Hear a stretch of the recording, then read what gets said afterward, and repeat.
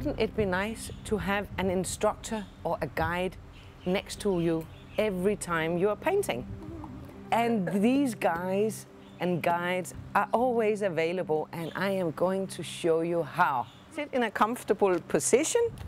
Make sure you sit relaxed in a relaxed position and I would like you to close your eyes so you can see this video inside your mind. And I would like you to try and connect up to source, to the universe through the top of your head. Imagining that you're having some light coming in from the universe down through the top of your head, through your crown, and you imagine beautiful light flowing from the universe in through your crown, down through you, and into the center of the earth while you are breathing gently, slowly, deeply, and rhythmically. And you let the energy come from the center of the earth back up through you, up through your heart, up through your body, up through the top of your head, through the crown, and back up to the universe.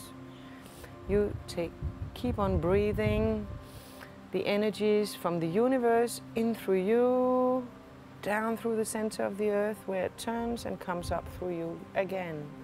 And you breathe in and you breathe out. And if you feel any tension in your body as you breathe in, you tense that area up. And as you breathe out, you let it go. Breathe in and breathe out. Breathe in and breathe out.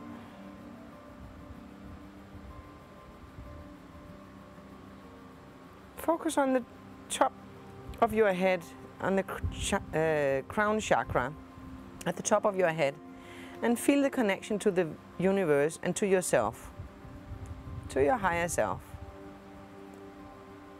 And then you ask your higher self to send down a sphere of light to surround and protect you. This light could be any color. Just take note of the colors as your higher self will send you the color that you most need to bring you into balance. Visualizing yourself sitting in an empty chair.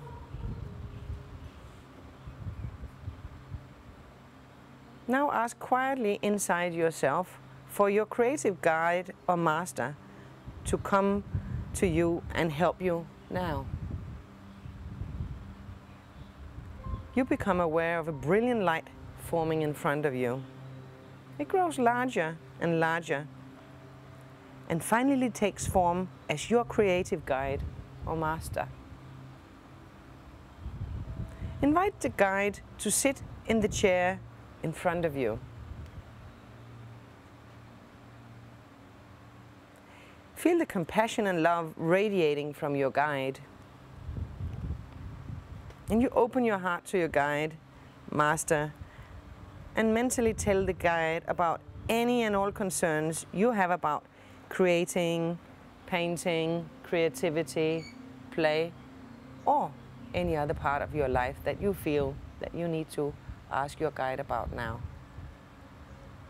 Be open to listen and to receive the insights and wisdom from your guide and what he or she is giving you now.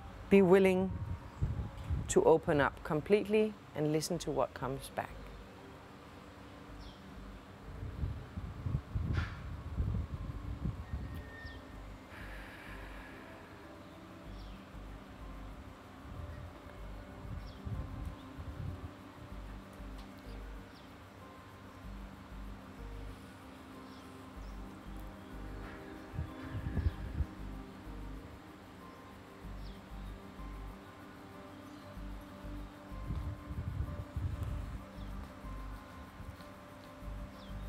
Now you asked your guide and you've had an answer coming back.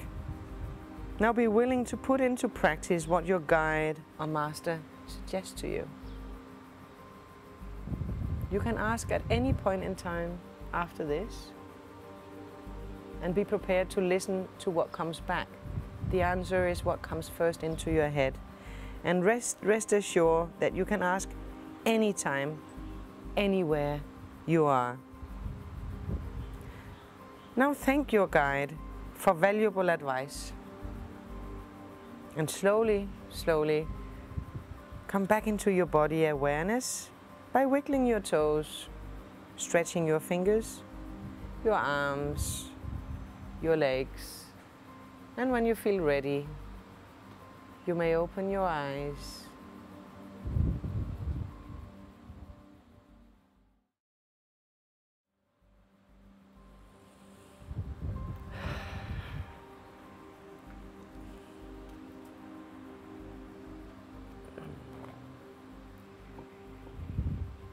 Your guide is always there. There's always somebody there. It's all available. So maybe you need to sometimes maybe just step back a little bit and ask for that advice. You know, take a deep breath, step back, ask the question that's really deep inside, and be prepared to listen to what comes back before we move on. This works with painting, it works with other aspects of life.